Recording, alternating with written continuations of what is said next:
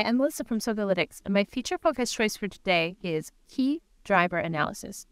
We all love metric questions like this How satisfied are you with your recent experience?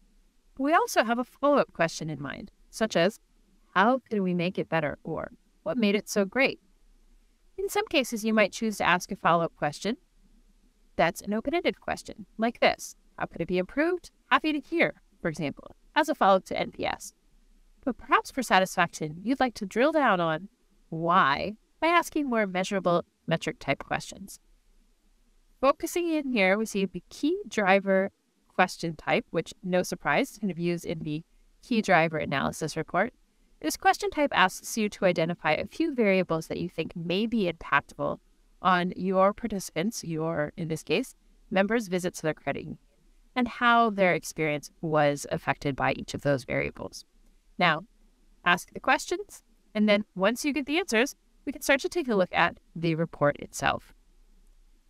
Once we have, of course, all of our data in, we run those results. We can look at it in any number of reports, but today we're looking at specifically key driver analysis. Key driver analysis here we see no running at all. is automatically generated for me. So when I get down here, I can see that I'm looking at the relationship or potential relationships between the key driver analysis grid questions, and in this case, NPS. Now, I might choose, I really care about satisfaction in the survey because those are the ones um, that I was really focusing on in terms of someone's satisfaction with their experience in my branch. Now, simple enough, dots down here. Which dots matter most? No kidding, it's the red one that you want to pay attention to. When you see something up here in the top left corner, this is indicating that this is an important weakness meaning it's not going well and it does have a significant impact on that metric that you're looking at. That is satisfaction. You can see the details down here below. Color pattern really breaks it down. Weaknesses, strengths, down here, unimportant strengths. These things are going well, but not having any other impact.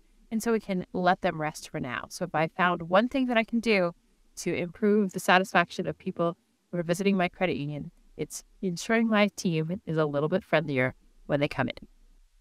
We love key driver analysis because it helps us figure out why behind the rating, which of course gives us the opportunity to figure out what can we do to make it better in the future.